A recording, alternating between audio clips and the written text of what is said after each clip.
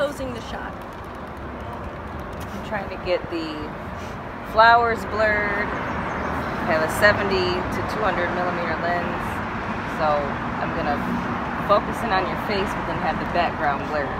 And you have a reflector, a reflector and a bounce bubble. the light and a bubble person. Bubbles! Cue in the bubble.